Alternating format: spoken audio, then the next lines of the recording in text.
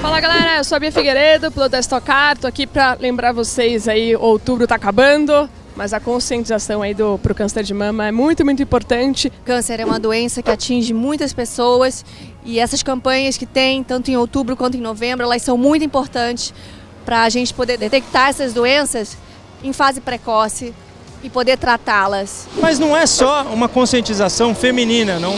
Eu acho que os homens também têm que mostrar o quanto é importante a gente se cuidar. Os maridos, filhos, filhas, peçam aí para as mulheres ao seu redor sempre fazer o autoexame.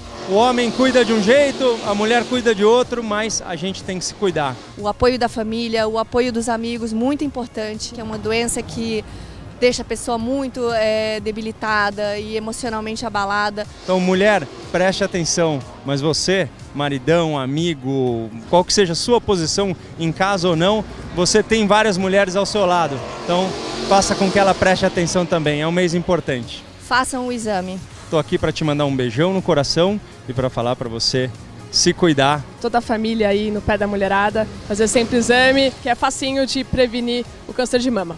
Beijo!